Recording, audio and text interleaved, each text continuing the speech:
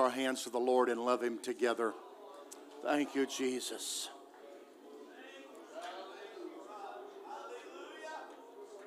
We magnify you, Lord. Thank you, Jesus. Hallelujah.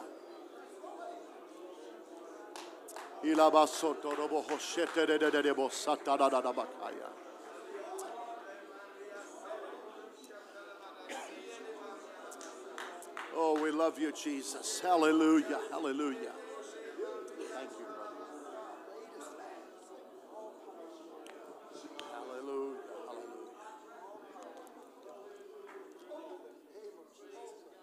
Hallelujah. Hallelujah. Praise the name of the Lord. I um, want to say thank you to the Iowa District. Uh, thank you, Brother Williams and Brother Tom, and all of those that have been involved. I want you to know that there are no great men of God, there are only men of a great God. And uh, we have come together, we've come together in this place, but we're not just here to have church, we're gathered around a person. His name is Jesus Christ. And we are all his body. And every member coming together can be equipped and empowered to be exactly what God wants us to be in this hour. And I'm thankful for that. I believe there's a prophetic dimension that has been released here. I know that for fact. Um, and I believe the Lord has sent me to help you. I'm nobody, I'm just somebody. And you're somebody. And I believe the Lord is got his hand extended toward this place and spoke to me today that he was going to increase the capacity of the Iowa district. I believe that was I believe that's what God is doing, and um, I, I'm thankful to be a part of that. I'm very honored and humbled to be here. Uh, I'm just I'm just a voice, just one voice, and uh, I'm very thankful that I get an opportunity to come and be with you to equip you and tool you. Men are builders, and uh, God has made us to be builders. And this this this body isn't fitly joined together unless someone's fitting it together. So we fitting to do it. Someone say amen. amen. Praise God. I just thank God for what He has been doing already in the Iowa district. I want to minister what God has brought me to minister here. I don't want to take a ton of time. You're full of meat, um, and that's a challenge. And you've been golfing and you've been out all day and it's been hot. But I just have a feeling that you're going to tap into what the Holy Ghost is wanting to do because I sense that from you. The gift of faith is in this place moving already. And, um, but Brother Spicer, I can't get past it. I was going to tell you uh, after uh, the service, but while I was over here, I just felt like I needed to say this just now. I was going to hold it, but I had a vision of you here a little bit ago, and I saw you standing, and there was a stone wall that was coming down. And uh, the Lord told me He thinks it's coming up, but it's not coming from where you think it's coming down from heaven. It's the will of God. And that it was thick and it looked permanent, but there was a gap because it only came down so far and it didn't stop you. And you actually moved out from it. And when you did, the Lord told me there was a transition in your ministry and you lifted your hands and there was oil on both hands. I said, Lord, what is it? And men who had been touched by other men and were not changed, the Lord said, He thinks, He thinks permanent changes are happening, but I'm actually transitioning him because of the stewardship of the love of God in your life. You are going to touch men that other men have touched and never got healed, delivered, and set free. Your ministry is changing. Thank you, Jesus.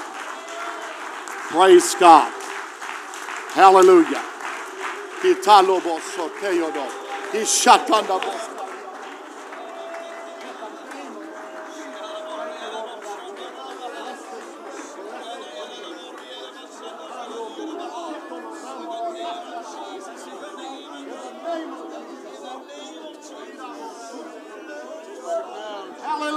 Hallelujah,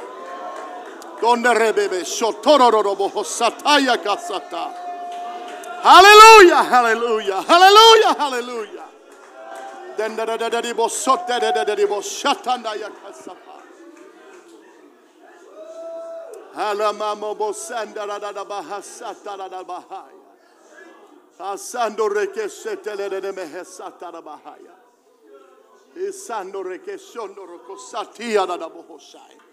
Thank you, Jesus. Hallelujah. Give the Lord a hand clap of praise. Hallelujah. Hallelujah. Thank you, Jesus. You're worthy, Lord. We praise you. We love you, Jesus. Hallelujah. You can be seated in the name of the Lord. Thank you. Uh, the Lord, the Lord just quickened me tonight to share with you something, and I'm going. And this is a prophetic word for this district, but it's not for any one individual. It's for the entire district. The Lord told me that He did 37 miracles in Matthew, Mark, Luke, and John. But not to get so excited about that, except for the fact that Matthew, Mark, Luke, and John are not in the New Testament. Matthew, Mark, Luke, and John are Old Testament books. Jesus was born of a woman under the law. The New Testament didn't start until the shedding of his blood after the death, the burial, and the resurrection. So, if we understand that the Matthew, Mark, Luke, and John are the Old Testament, it changes your dynamic for a particular reason. Galatians 3 says that the Old Testament is a shadow of things to come. That means that the body of Jesus Christ in the New Testament is only a foreshadow of the body of Christ in the New Testament, which means that if he did 37 miracles that touched all seven systems of man the neurological system, the, the, the skeletal system, he touched the blood system, he touched the endocrine system, the kidney system, he touched the brain, he touched all three tenets of man his body, his soul, and his spirit. He, he worked things in every dimension of man because God is love and God came as a man, Jesus Christ. And it was love. I said it was love. Hear me. When you come together in the love of God, then the restoration of miracles uh, in manifestation, that what Jesus did in his physical body will happen through his spiritual body, which is his church. In the name of Jesus Christ, I speak to you that the love of God would be increased in every heart and that no division would be able to penetrate what God's prophetic word has been to this district. In the name of the Lord, we resurrect love for the outflowing of the manifestation of the body of Jesus Christ. Come on, if you receive that right now, receive it into your heart. Hallelujah. Hallelujah.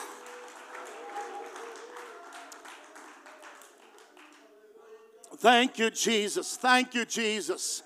Thank you, Jesus. My goodness. My goodness. Hallelujah. Hallelujah. Hallelujah. Thank you, Lord. Oh, thank you, Lord. Thank you, Lord. Thank you, Lord. Hallelujah. I was, um, I haven't heard from my district superintendent in a couple of months. And uh, today he called me on the phone. He asked me, Where are you at? I said, I'm in Iowa. And he said, Send a message. I said, What's that? He said, I've heard from the Lord. I said, You have? He said, Yes. He said, I just want you to tell Brother Williams that the Kansas district is behind you 120%, and he just wanted to know he loves you. That's what he told me to say. I said, I'll say it just like that. Praise God. I'm going to tell you what the love of God can fix anything in any situation. You hear me right now? I, I don't care what it is. The love of God can fix any situation. Love keeps no record of wrongs. That means until you do me wrong, you don't know if I love you. Love is not puffed up. Love doesn't boast. Love thinks no evil. So until you do something questionable, you don't know whether or not I love you. Love is patience. Love is kind. If love is patience, patience is what love endures, and kindness is what love gives out. So until I have to be patient with you, you don't know if I love you. Until I have to be kind to you, you don't know that I love you. Are you hearing me right now? And the Lord is baptizing this district with a dimension of love. Wait a second, I'm not done. Let me tell you. Now, I have not talked to anybody, but I'm feeling something in the spirit. But I'm here to tell you, you're on this side of the divide. Are you listening to me right now? Because, uh, did you hear me? Until there's wrongdoing, then love cannot be perfected unless you unless you have weaknesses and shortcomings how do you know god's even patient or kind with you At the moment you're perfect, you become God. You can't become God, so you get God's nature, which is love. So love is patient and love is kind. So until someone does something that deserves long suffering, you don't have any idea whether or not the district is filled with love. So listen, unity is, and I, this is a word for this district unity is not the absence of trouble, unity is the presence of love.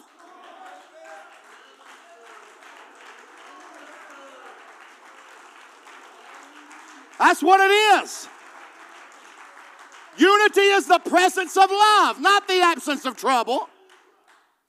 And matter of fact, let me tell you something.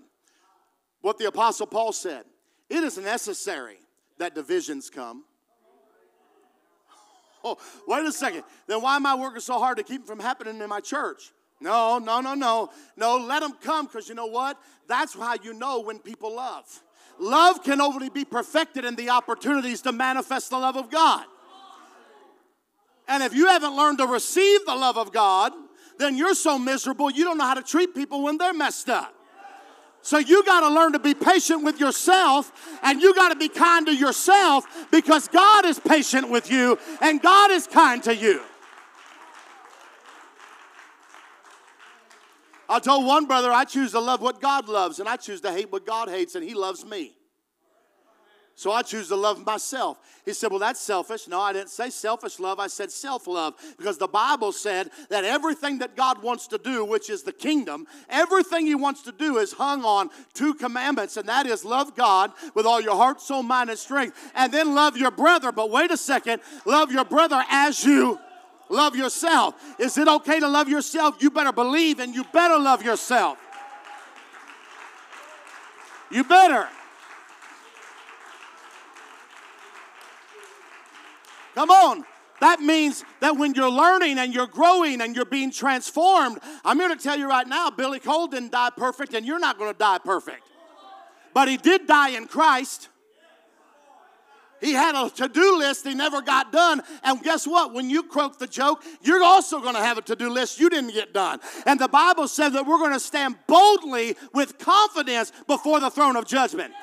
Now, I don't know about you, but when I was younger, there was a, a lot of people that told me if you mess up and the Lord comes in the next second, you're going to hell. You ever heard that? I got news for you. No, you're not. I got news for you. No, you're not. You're hidden in Christ and you're complete in Him. And so, therefore, you are approved of God and you're growing in Him. And as long as you are in Christ, there is therefore now no condemnation in Christ Jesus. So, when Jesus gets condemned, then you'll get condemned, and He's not getting condemned, and you are in Him. That gives you permission to grow. That gives you permission to mature. That gives you permission to step up. It also gives you permission to mess up because that's when God meets you with His love. And if you never mess up, you don't know His mercy. And if you never mess up, then you are equal to God. And you're not equal to God, but you're in Christ. Are you listening to me right now? Praise God. The first thing we have to understand as men is our identity. And if you don't understand who you are, then you don't understand what you were made for. And anything you misunderstand, you eventually misuse. Don't believe me? Think of the first time I bought a chop saw and tried to use it and didn't even know what I was doing. That was a fun eight hours. I was raised by dad, didn't even teach me how to swing a hammer so I'm out there trying to work this thing. I had more problems getting out of the box than anything. Then I figured I'll figure out how to do this and sat down to read the manual, and it was that thick in six languages. And I would have gotten just as much out of reading it in Chinese as I did in English. I'm here to tell you if you don't understand a thing, whatever you misunderstand, you misuse. So if you don't know your identity, then you will not manifest that identity in your life but you were created by God, for God, for a reason and for a purpose. And I believe it's about time that men don't just stand up and get hyped up, but men stand up and get educated on who they are. Because if you don't find out who you are, someone else is going to give you an alternative of who you are. And so a man, you know, a man is a man. A man is someone that has calluses on his hands. A man is a, man, guy that owns a muscle car. A man is someone who knows how to do this and knows how to do that and knows how to do this. And so we we are trans or we are conformed to the imagery that others uh, impute to us. Not with albeit it is nothing like the original concept that God had for man. And so we end up spending our energy, life, passion, talents, going after and pursuing that which is not what God said we were. And at the end of the day, we're trying to be everything that they say a man is, and yet talk in tongues and dance in the Spirit and go to church and pay our tithes and keep our seven Pentecostal standards. And at the end of the day, when we're taking our last breath, we find out that it's not what we were originally created to do in the first place. And so you have to understand who you are. There are, uh, there are some original ideas and some original concepts that look nothing like a lot of the things that we say manhood is. So, I want to talk to you for the next couple of sessions about the original capacity of man. God created us with the capacity. Now, before we talk about that, we got to talk about who created us because we're made in his image. Okay, so we got to talk about the one that created us. So, the first thing I want to talk about is I want to talk about God. And God said he was a few things. Everybody say he's one. He's love. Okay? He's life. Are you getting that? God is one. God is love. God is life. Someone say amen. And the last thing that I'm going to put up there is God is holy. Now, here's the thing these are things that He is. He doesn't have these things, He is these things. God doesn't have love, He is love. He doesn't have love, He is love. God doesn't have life, He is life. That's important for us to understand that God doesn't have life, He is life. So, therefore, all life comes from God and all real love comes from God.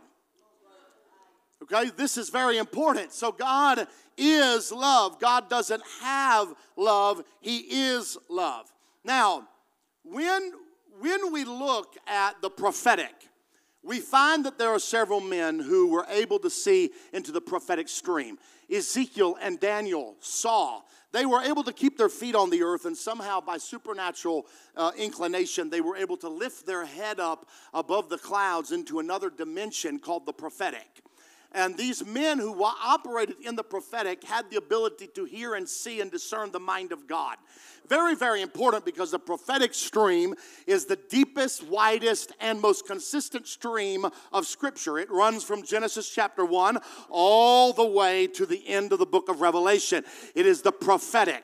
Now, when, when Ezekiel and Daniel looked into the heavens and they were actually able to see the kingdom of heaven, everybody say heaven the kingdom of heaven existed before earth existed. That's very important because there is an understanding here. When they looked into the heavens, they saw something that was very unique. Both of them looked into the heavens and they saw something that was there. And they saw angels around this piece, this unique piece of furniture, and the angels were crying things that had to do with what God said He was okay? And so the thing they saw when they looked into the heavens, Ezekiel and Daniel, and praise God, there was one seated on that throne. It was a throne. Everybody say a throne. Who sits on a throne? And that's who created you. You weren't just created by God. Get over that theology. You were created by a king. And that matters because a king has decree a king has power a king has a word a king has a plan a king has are you hearing me? He has another dimension that is not of anything that's of this earth. He has a completely different kingdom and he reigned perfectly in order that kingdom. He ha- and in fact it's pretty amazing because the eternal everybody say the eternal the eternal determines what is is seen. So the seen reveals what is unseen. So everything around us is a reflection of what is unseen, but it's also the shadow of what is coming. That's very powerful. Okay, so here I'll, I'll talk to you about it. Ezekiel, for example, saw creatures who are around the throne. Now they are looking back into the eons of eons. They are seen from eternity, and they are seeing these creatures around the throne of God. And around the throne of God, these creatures had four faces. Now I've met some two faced people and never with four face, but these had four faces. Does anyone know what those faces are? They're the face of a lion, the face of an eagle, the face of an ox, and the face of a man. So that means that the face of the ox and the face of the eagle and the face of the man and the face of the lion existed before the man, before the ox, before the eagle, and before the man.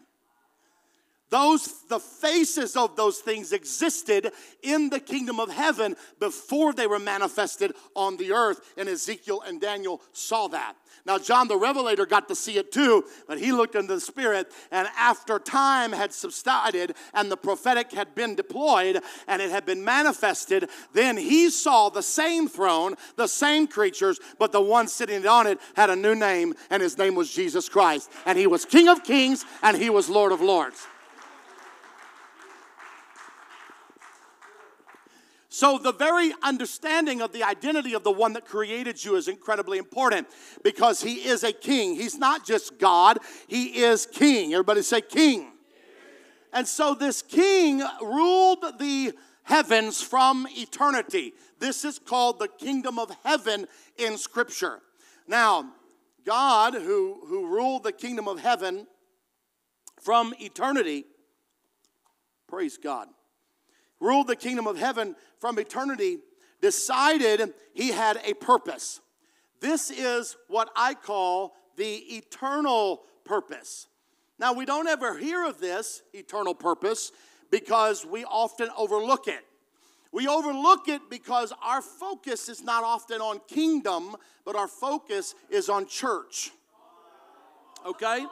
And because we so focus on church, we lose sight of the kingdom. Well, Jesus' first message in Acts chapter or Mark chapter 1 was the kingdom of God. His last message in Acts 1 was the kingdom of God. He spoke on it over a hundred times. Uh, and when he died, was resurrected, he took his disciples into a mountain and for 40 days in his resurrected body taught them a Bible school series that I would have loved to have been a part of. I don't have the curriculum for it, but I do know the title of the sermons or the messages and the decrees that he made. And the Bible said, and he taught them the things pertaining to the kingdom of God. So the fact is, is this kingdom is incredibly important because it's a kingdom of heaven and God through his eternal purpose. And Paul mentions this three different times in his writings. He talks about the eternal purpose of God that God had a purpose from eternity. And so, if you have eternity over here and eternity over here, in the middle of eternity, you're going to find a small piece called time, and we are locked in time, but our purpose is for the eternal purpose. Okay? Our purpose is for the eternal purpose. So God said, This is what I want. This was his eternal purpose. He said, I am going to I am going to make a creation on the earth. I'm going to create or make a creation. That's pretty good. Okay? He's, that's pretty round, ain't it? Oh, thank you very much. So, this is what God says He says, I am going to create a creation. And this creation that I'm going to create, that's your wife, not mine. This creation that I'm going to create he said, I am going to put my life in them. I'm going to put my nature in them. I'm going to give them my authority and my dominion. Okay? And I am going to have them extend my kingdom. I am going to have them extend my kingdom, the kingdom of heaven, onto the earth. This was God's eternal purpose that He would have a creation that He could extend His kingdom onto the earth through that creation. Well, here's the thing God's, God is life. God is life. This is so incredible. It's important to understand. He's not just life, He's God life. There are many words for life in the Bible, but the word Zoe is the word for God life. It's divine life. So all life comes from Him. So you have many different dimensions of life. Just in Genesis 1, 2, and 3, you have seven dimensions of life. And every form of life has a consciousness. Am I right? I mean, f- plants have a different life than animals.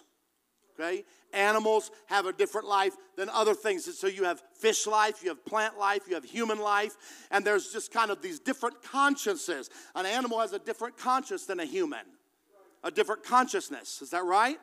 Okay, and so God says, I want to put my consciousness in the supreme creation that I make. He is going to be the supreme creation. I want to put my consciousness in Him, so I have to put my very life into Him. Everything that I am has got to go into that creation, or He cannot carry my nature. He cannot operate in my character. He cannot move through my authority, and He will not have what is called dominion.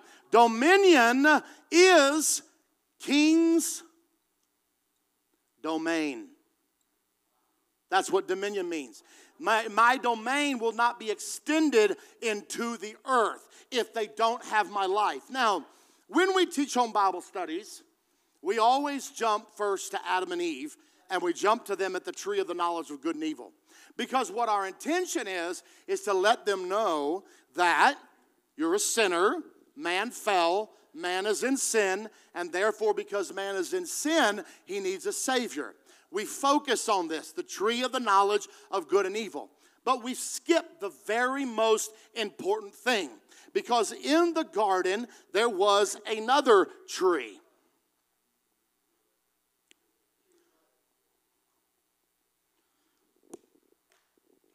And God told Adam and Eve, This is what I'm going to do. I am going to pour myself into a tree.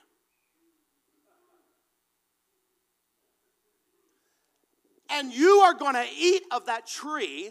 And when you do the tree of the of life is god in a receivable form. It's the only way i can get them. So god literally created man with a mouth to be able to receive the life of god and if you will eat of the tree of life, then my life will be in you. And once my life is in you, then you will walk with my voice in the garden. And when you walk with my voice, you'll have my life plus my voice, and that will give you dominion. Now, what happens is we, we, Adam and Eve, you know what they did? They decided to eat of the tree of the knowledge of good and evil. Do you understand what the tree of the knowledge of good and evil is? Good is right, evil is wrong. The tree of the knowledge of good and evil is the law. The knowledge of what is right and wrong. Well, the fact is, it's not a bad tree. God did not create the tree of life and Satan the tree of the knowledge of good and evil, but it wasn't the correct tree. It still is not the correct tree. So when people come to God and they receive the life of God and they actually eat of the tree of life, guess what? We shouldn't rush them to the tree of the knowledge of good and evil to tell them this is right and this is wrong and this is right and this is wrong and this is right and this is wrong. We take them to the author of life and we tell them, eat from this tree and keep eating from this tree and keep eating from this tree and keep eating from this tree and keep eating from this tree and keep eating from this tree. And this tree right here has all you need. It has the nature of God, it has the authority of God. It has the power of God. It has the mind of God. It will take you to the voice of God. You need the life.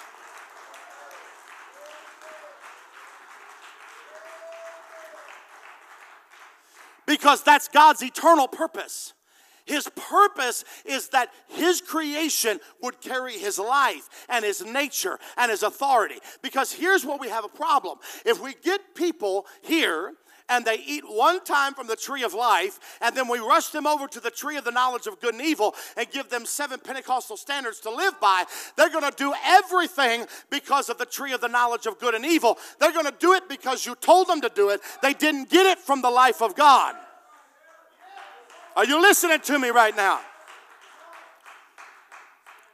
Oh, hey, I said. You, you take them to the voice of God. What's the voice of God? We have the Rhema and we have the Logos. You teach them how to hear from the Lord Jesus Christ that's living on the inside, and you show them how to walk with the Lord by opening up the scriptures and fellowshipping with the Word, who is Jesus Christ.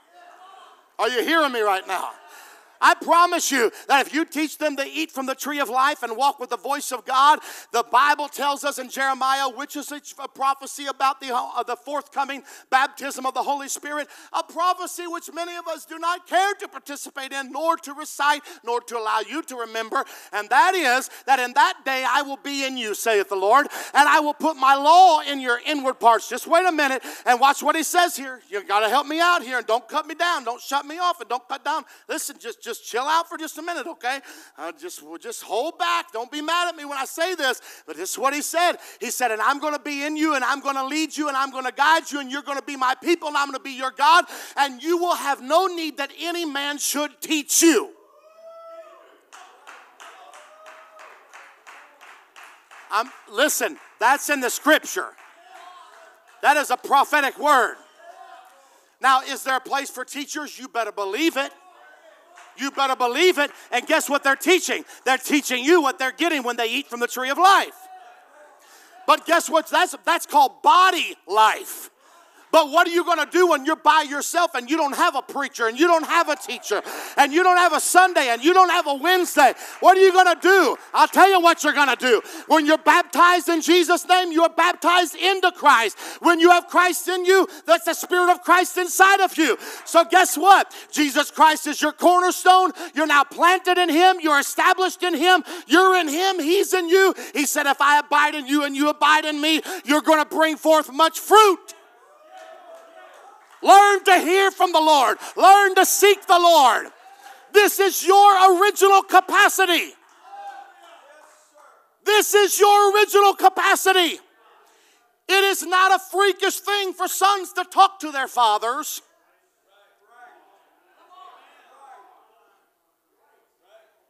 It's exactly what Adam was. He was the son of God. Look at Luke chapter 1, very last verse. You're going to find it in there. He said, and this one and this one was son of this one, this one was son of that one, this one was son of this one, this one was son of that one. And the very last one says, and Adam, which was the son of God. He was the offspring of God. That's what he was. And he had an opportunity to be filled with the life, to drink from the river and rest in him while he listened to the voice of God. And because of that, he had dominion. Be very, very very careful preaching about power without preaching about Jesus Christ and the life of God that's supposed to be in you.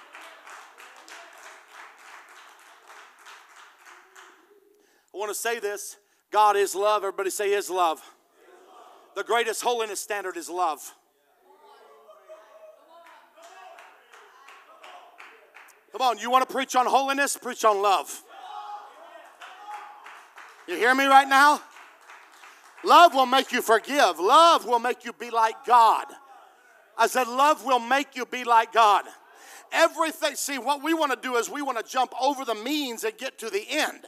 And we want to tell people how to live the life. That's the tree of the knowledge of evil. Back up and get them to the means, and He will take them to the end. He won't ever do it by giving them a list. That's what parents do do this, don't do this, do this, don't do that. Hey, no, don't be that. Live by love. And if you have relationship, then you have the ability to shift and navigate someone into any arena that you want them to be in because that's the capacity of man. You are more than just a toddler in a daycare that has to be told what to do and when to do it. You have the ability to see the Lord, hear from the Lord, talk to the Lord, smell His word, touch Him, behold Him, fellowship Him.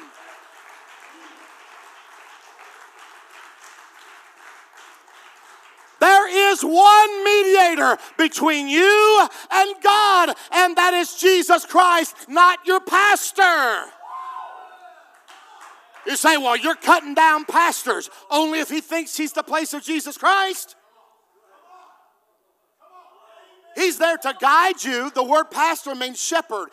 That's the exact definition of the word pastor is shepherd. Are you hearing me right now? You know what a shepherd is? A shepherd is there to care and to nurture, to protect, and to guide from the front. That's what he is. And I, and I know right now there's a lot of shepherds in here that wish that was their role description because they're not God and they don't want to be God. They really want the relief of the pressure of all the men of God standing up to their original capacity. Standing up in your original capacity. Everybody say original capacity. This is so important. See, because your Genesis is not your origin.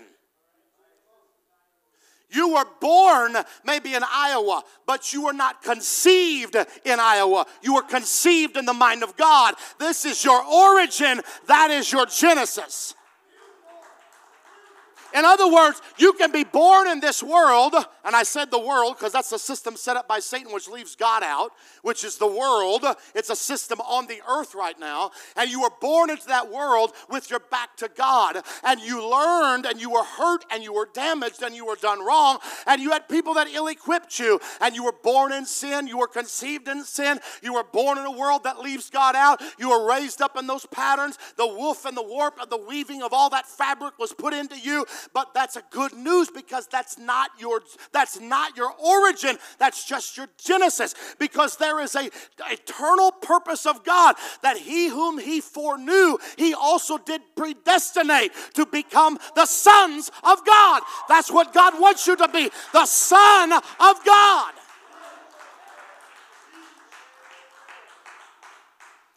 That's why you didn't come to God. He came looking for you. Why? He came out of his eternal purpose. He created this whole thing to come looking for you. And before he could get a hold of you, he had to restore you back. And before he could restore you back, he had, listen, he had to fulfill his own plan to make a way for your original capacity to be empowered. You have an original capacity an original capacity. I'm a son of God. I belong to a king. That makes me a prince. I hear from him. I walk with him. I have his authority. I have his nature. I have his dominion. I have his power. This was the life of Adam. In fact, this was done in the Garden of Eden. The word Eden means the presence of God. It's also translated the gateway to heaven. That's what the word Eden means. Very important to understand that because God created man and then put man in his presence. Man was not created in God's presence. The Bible says the Lord God planted a garden east of Eden, and then the Lord God put the man in the garden. In fact, the garden would not even produce anything until man was in it. It was a mud ball with seeds in it. Can we prove it? The Bible says, And the Lord God planted a garden east of Eden, and no herb brought forth after its kind, nor did anything spring forth. Nor did the Lord God allow the dew to fall upon the garden, for there was not a man to keep it. Until man steps into his original capacity, he, nothing can grow or multiply. So if I was the devil, and I'm not, but if I was, I would endeavor to keep you occupied. I would keep you filled with something else other than the original capacity. Because if you are not in God's original order, then guess what's going to happen? You'll never produce what God created you to produce.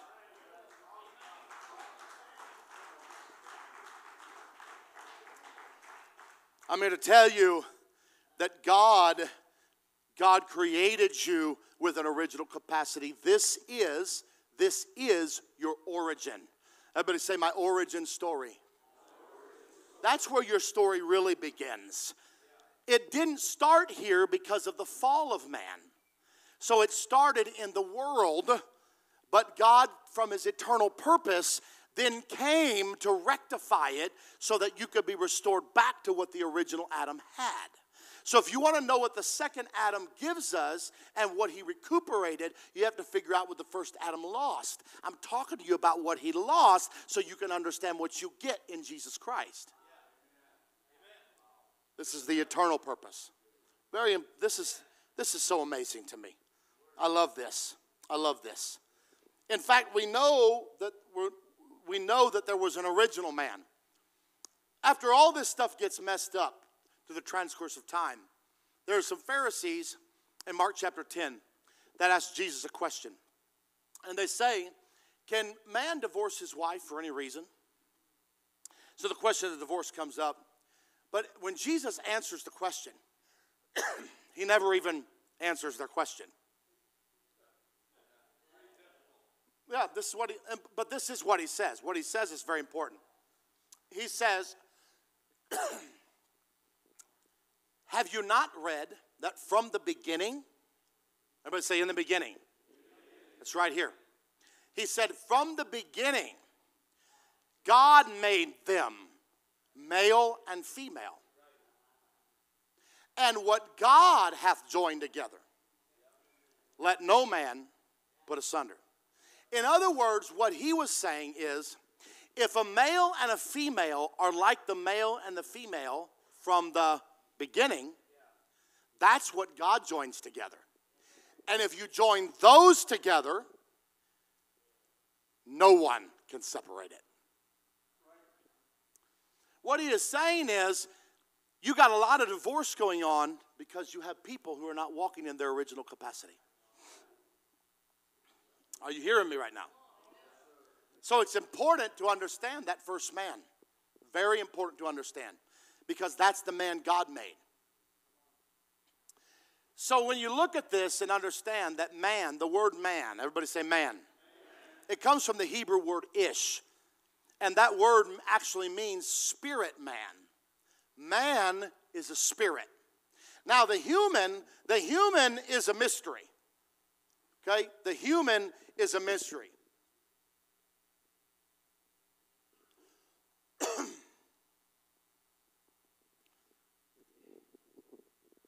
Man is a spirit. Okay? Man is a spirit. God takes the man, Genesis 1:26 said, "Let us make man in our image." God made man. That means man is spirit. Now we also know that God is spirit. So God from his self, that's his very life, makes man. Man is a spirit. And then God takes the man and puts him in a body. Very important. And I've, and I've said some of this here before, but I confirm with the Lord that I needed to repeat it. So God takes the spirit, puts it in a body. The word body comes from the word humus, which is a dirt vehicle. So God takes the spirit being, man, puts it in a body, humus. So he's, uh, you are not a body with a spirit. You are a spirit with a body. You are a humus man, which is where we get the word human. Okay? It was to the human that God said, I give you dominion. So, a spirit without a dirt body, God did not give dominion to spirits, and God did not give dominion to the body. He gave the dominion to a spirit being in a dirt body. Therefore, any spirit without a body is illegal on earth. That's why when you die, you got to go. Okay? you ain't nobody st- you ain't sticking around here. Now there are familiar spirits that familiarize themselves with you that if you get somebody dancing goo goo around a crystal ball, you might get to hear your familiar spirit.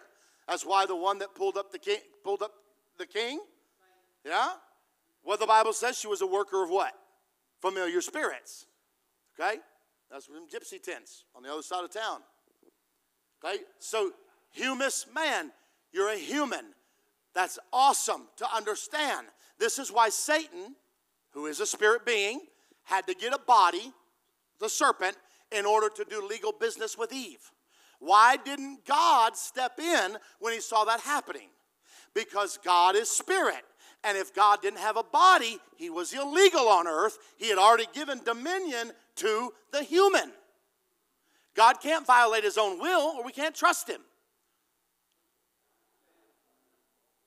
However, when Satan did business with Eve and circumvented this, he forgot one thing God was the one that created all things by his word, and God can still talk.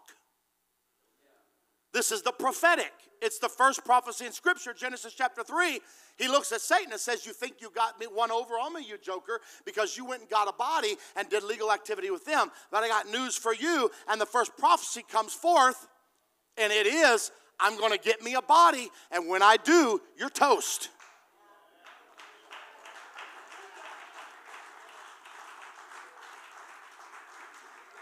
And that's why the Bible says, to wit, that God was in Christ, spirit, in flesh, reconciling the world to himself for his eternal purpose. So that his nature, authority, and his dominion would be extended on the earth again. And it would come through Jesus Christ, God in the flesh, the second Adam.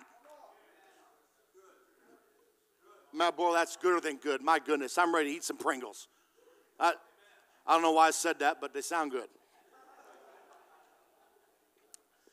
This is all this is so important for us to understand that there's an original man and an original woman that have a capacity. So when God takes Adam and, and, and he names this man Adam, when he takes Adam, who is a human, the first thing he does is he puts Adam into his presence. Now, that's important because this is a pattern in Scripture. What God does is He always creates the atmosphere. Everybody say the atmosphere. And then He creates the thing, He puts it in the atmosphere, and it thrives. He created the dirt, then he created the plants, put the plants in the dirt, and they thrive. He created the water, then he created the fish. He took the fish, put them in the water, and they thrived. He created the firmament, and they created the stars. He put the stars in the firmament, and they thrived. He created Eden, the presence of God. Then he took the man, put him in the presence of God, and he thrive. What happens in the inverse? Take a plant out of the soil, it happens, it malfunctions, and then it dies. Take a fish out of the water, it malfunctions, and then it dies. Take a star out of the heavens, it malfunctions, and then it dies. Take a man out of the presence of God, and he malfunctions, and he beats his wife. And he acts like a fool and he goes off and conforms to the capacity of what the world says a man is. But when a man has the presence of God, he can walk with the voice of God and he can fulfill the kingdom of God on the earth. Original capacity. Someone shout original capacity. He tells Adam, Adam, you need to work. This is the first Adam. He says, I want you to work. That word work has three definitions, and I'm moving very quickly, but I'm going to give you a whole bag of seed before we leave this place, and I'm hoping not to sound like an auctioneer before I finish. The word work has three definitions in the Hebrew. You have to understand that in the Hebrew, see, Greek, when you ter- interpret the Greek, Greeks, they, ha- they have attitudes, okay? I know a little Greek. He owns a restaurant in the town where I live, okay? The, but when you look at the Greek, the Greek always portrays an attitude, whereas the Hebrew always portrays, portrays a picture. Okay, very important to understand. So you can have one word that has many different pictures to it depending on the context. There are three pictures associated with the word work. Okay, now the first one is to discover. That's the first word for work. Now, because the Spirit of God is in him. He's eating from the tree of life. He's been given dominion. He has God's nature, authority. Now he has to have a work, a work through which to expand that dominion on the earth. He has to have a work. He has to have a spiritual gift. It comes by the Spirit, it's created for the Spirit, it happens through the Spirit, and the Spirit life of God working through him. That is the definition of eternal life, not speaking with tongues. You need to do that, by the way. So the first is to discover. In other words, it's undercover and you need to discover it. You need to take the cover off what God has put in you. So God is telling him the first thing you need to do, Adam, is discover the spiritual gift that's in you. What comes to you naturally? Why is it that when you walk over to the ground and look at it, you just want to do landscaping? That's because I made you a gardener. That's what I made you, Adam, because I want you to cultivate the earth and I want you to be the one that has his finger on every apple tree that grows across this globe because you have my life in you. There's no death in you, so you're going to live forever. And eventually the whole earth is going to be filled with plants and your name's going to be on every single generation of every plant that ever comes forth because you're going to live forever in eternity and expand my kingdom and this dimension of my kingdom. And guess what, Adam? When your sons are born, they're going to have a work. And when they discover their work, then if it's building, then everything that's built on the earth is going to have their name on it because they have a work to do. And when you look at an apple seed and you tell it to work, it doesn't just become an apple tree. You take those apple seeds from those apples on that tree, plant them, you get an apple orchard. It doesn't stop there because it ends in ing, it's perpetual working, continuing to work. Well, when you're not locked into time because you're living forever, there is no end to your ing because you never stop breathe ing.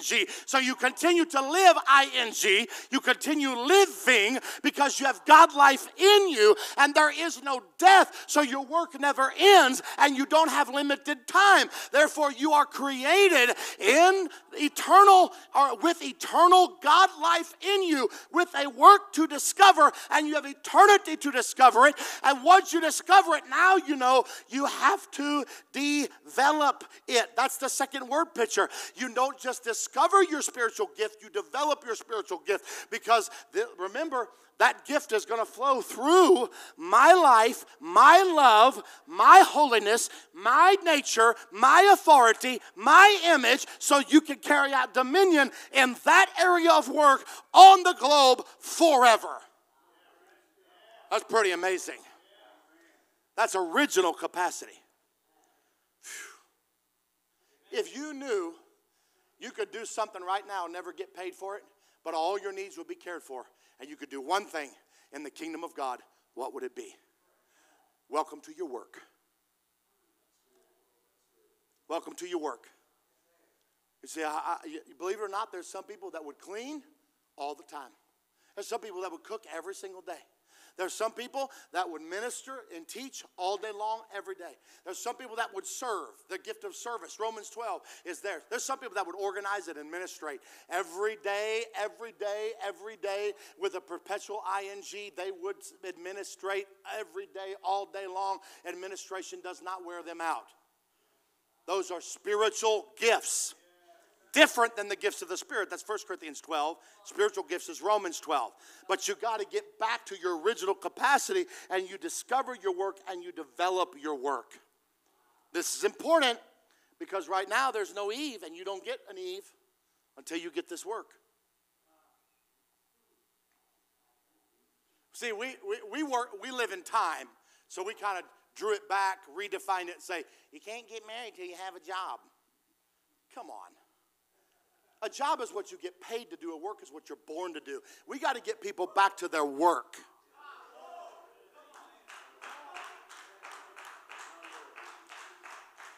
A job is in time, a work is in eternity.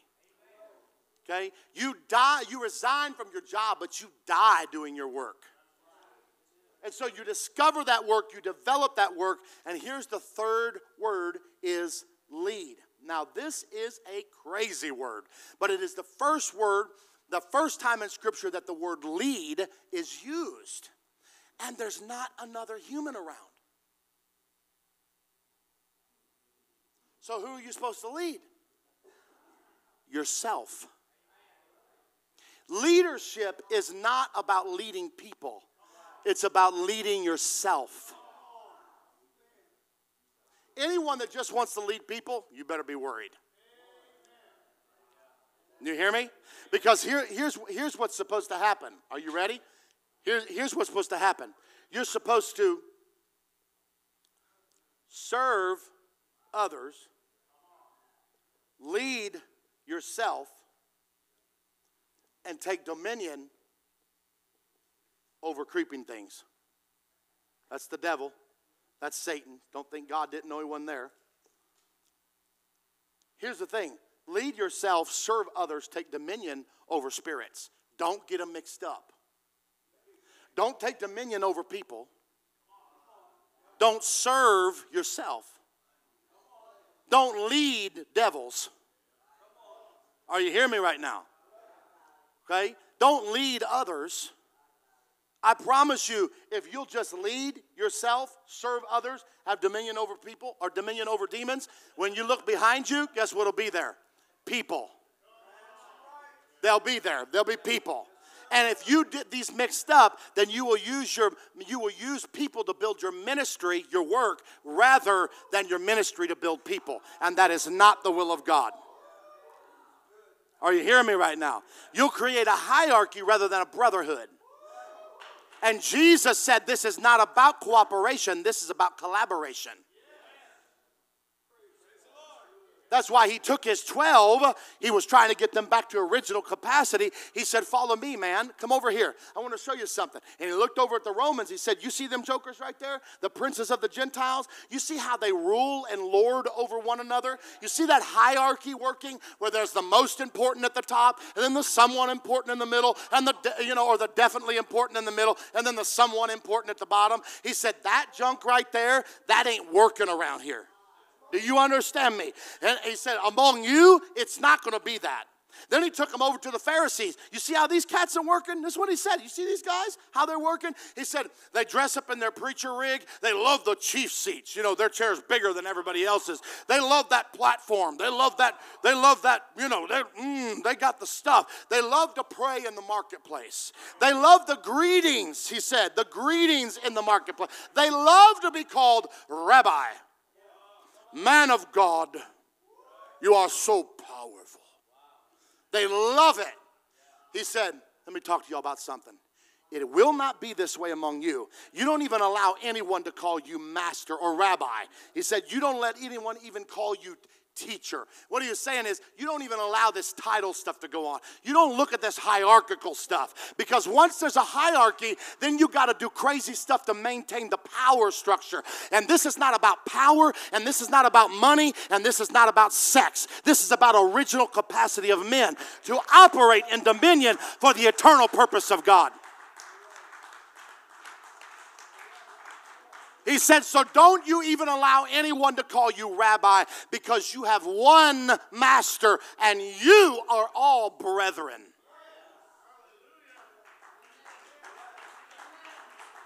Praise God. Oh, is this okay? Is this okay?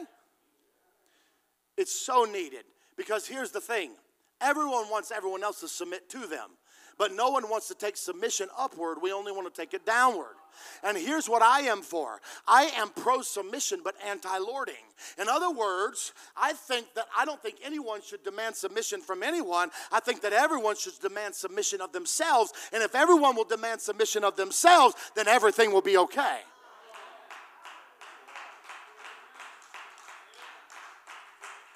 Because I'm anti lording. He said, You're not to lord over one another. I am anti title, but I am pro submission. Okay, I'll break it down for you a different way because that looks like a little hard ground to plow under. So we'll get plowing here. Okay, so here's the thing in the Old Testament, there are 72 names of God, 72 of them, okay?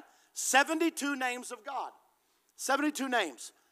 When you take the 72 names of God uh, scholars say you can combine them in the Hebrew and the Greek and all that. You mix it all together, you water it down, you boil it down, and you come out with a few things that you can sum all those names up. And all those names up can be summed up in these words priest, prophet, provider, protector. A king is all four. Priest, prophet, provider, and protector. And these are a responsibility. Everybody say responsibility. By the way, in the scripture, that's the synonym for authority. So if you want authority, you accept responsibility. Re- responsibility is servanthood. Even God made himself lower than the angels and became a man and took on the form of a, is that right? The form of a servant. The kingdom would come by the form of servanthood. When Christ found out his work, he discovered it, he developed it, he led himself, and ended up washing feet. You're no different than I am, and we are definitely not better than our master. Are you listening to me right now? And so when you look at this, you understand that this is referred to in Scripture as headship. Headship is not authority over, headship is responsibility for. So when you say you need to submit, what you're saying is, I accept responsibility in order to be a priest to you, a prophet to you, a provider to you, and a protector to you. This is Adam submitted to the headship of God. And when he was submitted to the headship of God and he understood his work, he developed his work, and he decided to lead himself under submission. God's, the kingdom of heaven is the mission. Coming to earth, he submissioned. He submissioned. Are you understand? He's coming under God's mission. He has no mission of his own. He wants to walk in the original capacity. Is this okay? And so when he comes under submission, now that he has his work, he's, he gets out there, he starts under the mission. God is his priest, God is his provider, God is his protector, God is his prophet. He is everything. All the 72 names of God are right there. God's life is in him. He's eating from God, he is drinking from the river that flows through the garden, which God made in his presence. He's walking with the voice of God, he's discovering who he is, he is developing who he is, and he's leading himself to do all of this. That's original capacity. And these plants are just blowing up. And God says, You know what you need? You need a helper. And so God caused the man to go to sleep. And from his side, he pulled from his own flesh, he pulled from his own flesh and bone and made another man but this one had a womb. It was a wombed man. That's what the word woman means. You know what I translate that in English to?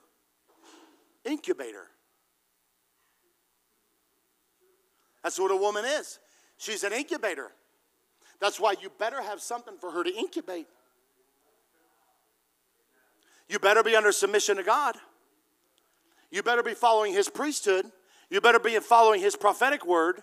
You better be walking in his provision. You better be coming after his kingdom, coming under his protection, under his name, living by his life, eating from his tree, walking with his voice, being his presence, doing his work, which he put in you to do to extend his kingdom on the earth. Because whatever you are when you get an incubator is what she's going to incubate. And here's the sad thing when the man just comes, pays his tithes, works the job, jumps up and down a little bit, but never finds his work. So he comes to church, and instead of making it about the kingdom in his original capacity, he makes it about his job, provides some money for his kids, and comes to church and pays his tithes and goes home. And he doesn't smoke and he doesn't drink and he doesn't cuss, but he definitely doesn't know what his work is, and he doesn't isn't developing it, and he's not walking and leading himself in the presence of God by the kingdom of God, eating from the tree, walking in the garden. In the pre- are you hearing what I'm saying right now? I'm talking about whatever you put in that that incubator is what's going to hatch, baby. That's what's going to hatch. If you give a woman groceries, she takes it, multiplies it, makes it better, and gives you dinner. You give her a word, she grows it, multiplies it, and gives you a conversation. You give her a house, she'll grow it, multiply it, and give you back a home. You give her seed, she'll grow it, multiply it, and give you back a son. You give her, tr- are you, you give her trouble, she'll grow it, multiply it, and give you hell.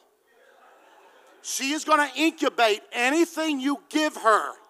So you need to understand who you are. You need to understand the love of God. You need to understand your identity. You need to understand where you're developing, where you're growing, where you're standing, where you're staying, what the presence does of God in your life, how important it is. You need to understand what your work is. What you need to understand that his nature is what's supposed to be manifesting through you, through his life. You need to eat from the tree. You need to rest on the Sabbath. Understand that he is your rest, he is your power, he's dominion, and all of that if you give it to Eve, she will become your greatest prophetess.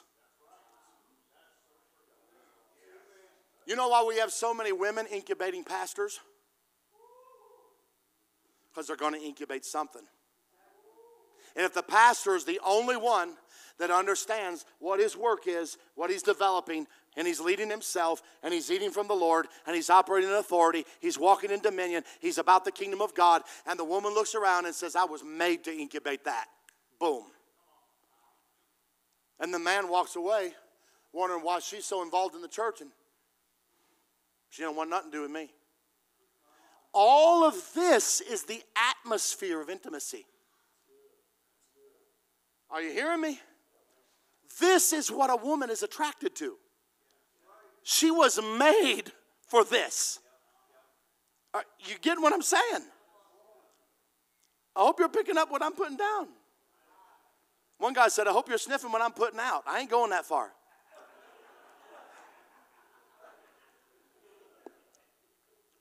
This is so, so incredibly important.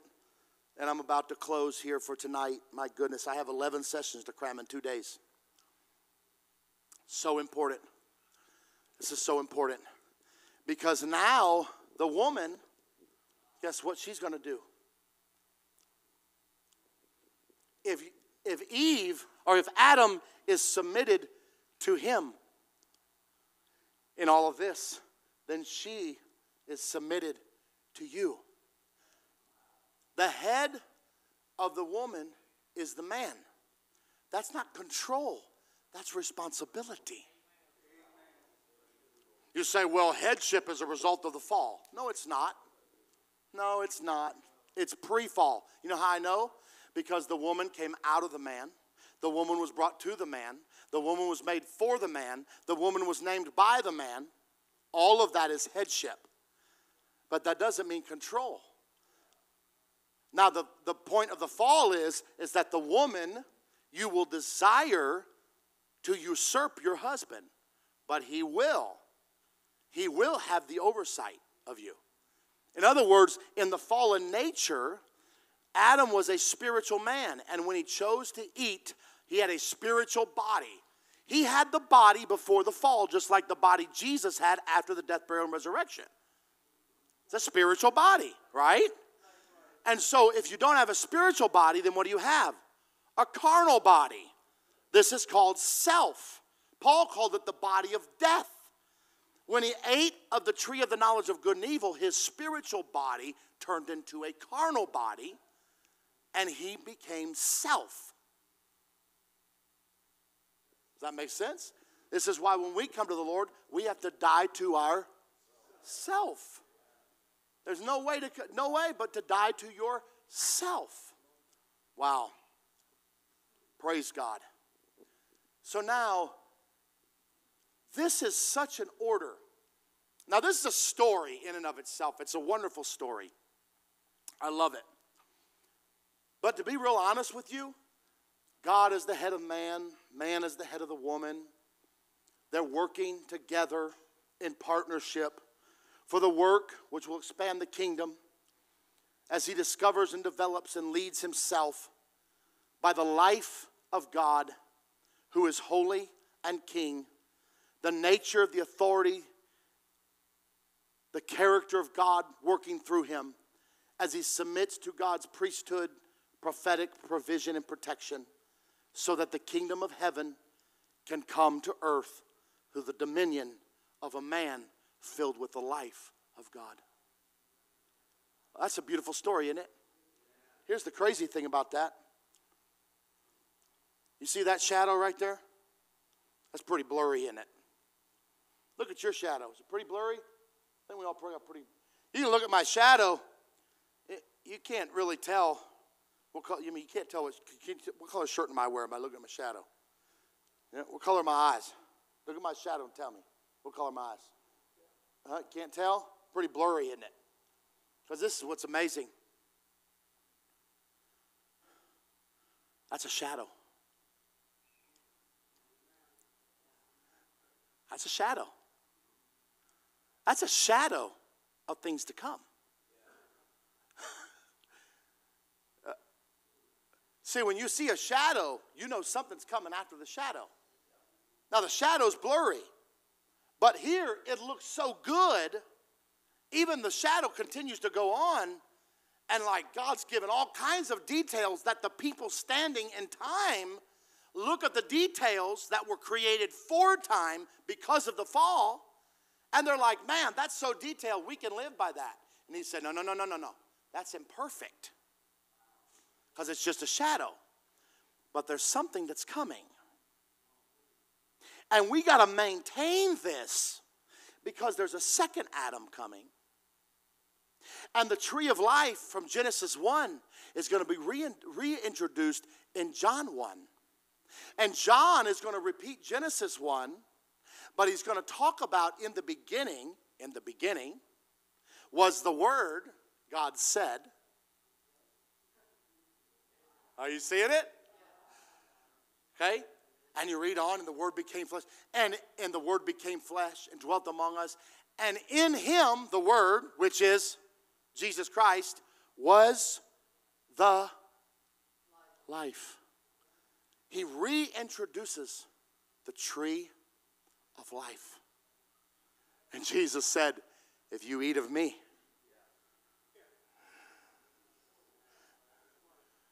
he said, I know. We're going to get you back to your original capacity. Eat of me. Come into my presence. Let me come into you. And then you come into me. And then I'm going to give you gifts, and you're going to discover and develop and lead yourself in the presence of God. And guess what's going to happen? This is amazing. And even, even the first Adam gives way to a second Adam. And the second Adam discovers his work, he develops it, he leads himself. And when he knows what he's called to do, and he finally yields in submission to the headship of his father as his provider, his priest, his prophet, and his protector. He says, Not my will, but thy will be done. And when he does this, God puts him to sleep. And from his side, he pulls the second Eve which is the church of the living God. And just like the first Eve was made for Adam's work, the second Eve will be made for his work.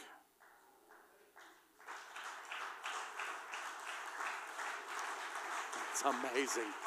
Blows my mind. But it will only work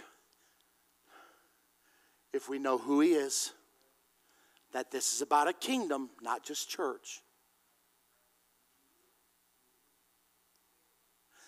That we eat of the tree of life, which is Christ. We live by the life that is in us. We stay in the presence of God. We develop the spiritual gift. We operate according to Him. We discover and develop and grow up in all things which is in the head, which is Christ Jesus, so he that he, he might have the preeminence above all things, and that we recognize we are his body and he is the head, and that we submit to him. And when we do this, we fulfill the eternal purpose of God and the kingdom of God, which is the ruling presence of God, which is Jesus Christ is expanded into all the earth. Talking about your original capacity. Your original capacity. It is time for us to empty ourselves of everything that is not from the origin. The things you picked up from your Genesis have to be released. Your purpose in time, the things that have happened in time, have got to be released because you only have so much capacity. You cannot fulfill the original purpose of God. The original capacity cannot be manifested if you're holding on to things people did to you.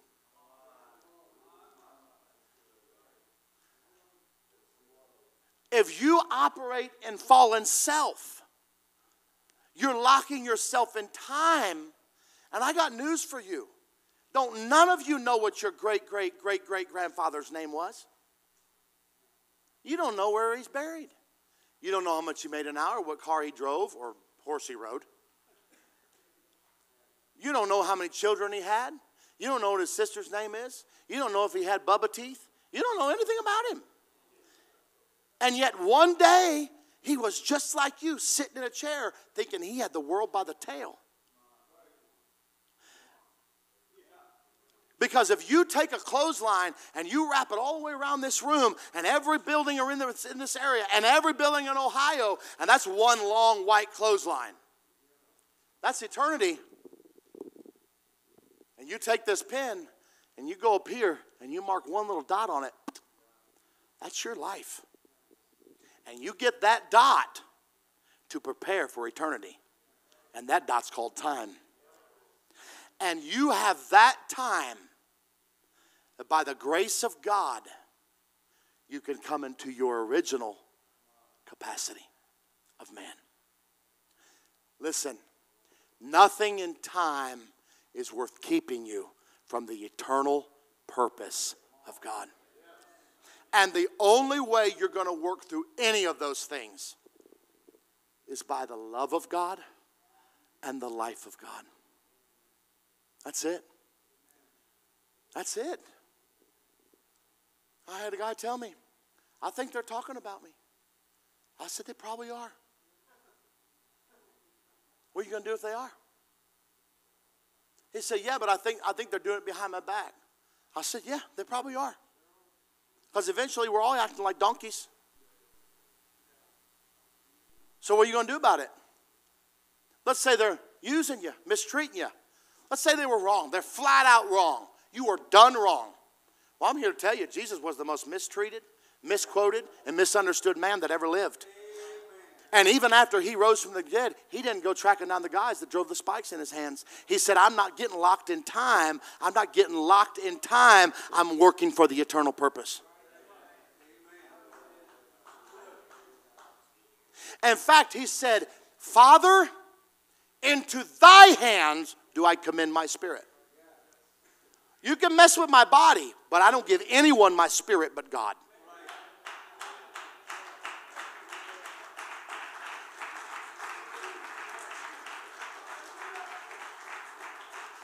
Don't let people who break your heart break your purpose.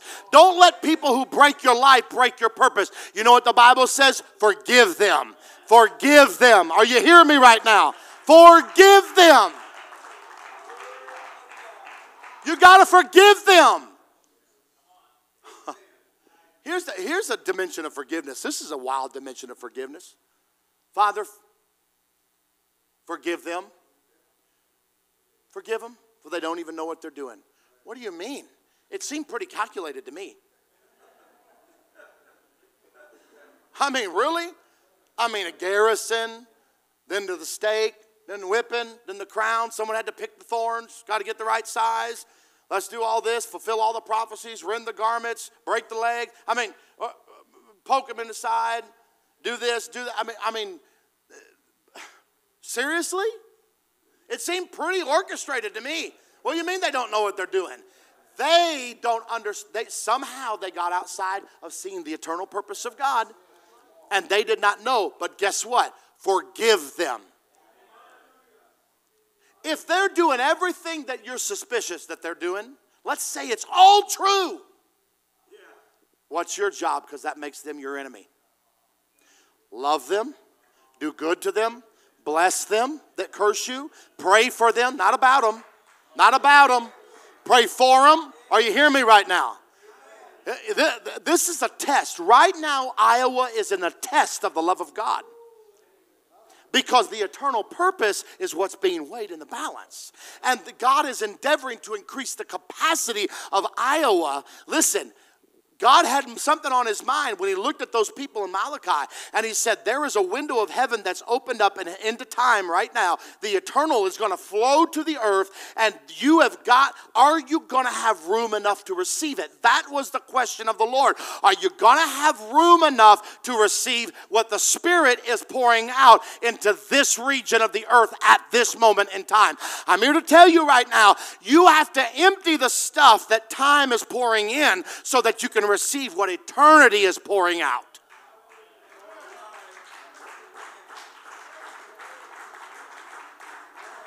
You got to make the call and say, I'm sorry, even if you weren't wrong. You got to pray for them. You got to actually do good to them because love is an action word. And this has nothing, what they did has nothing to do with you.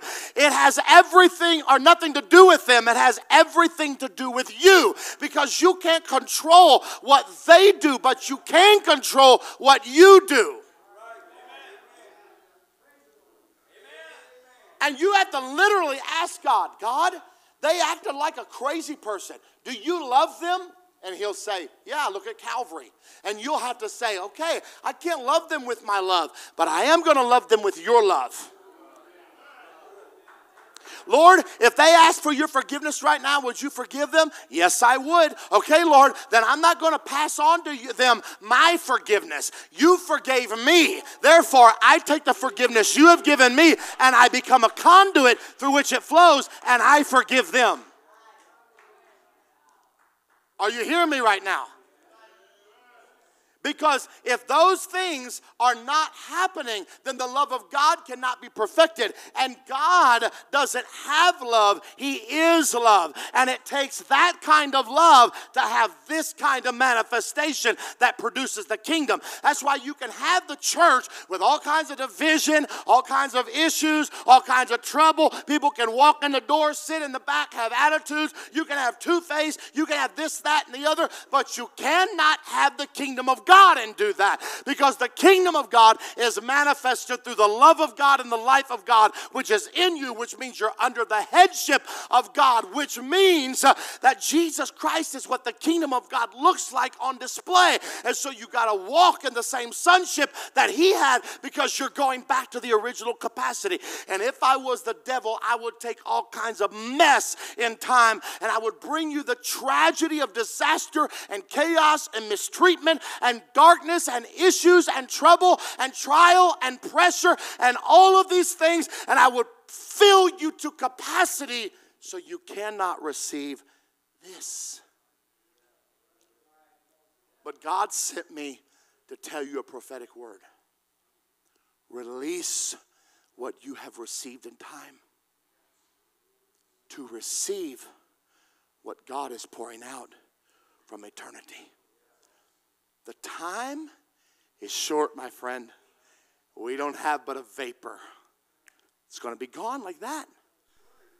It's true. A hundred years from now, none of us will be alive. None of us.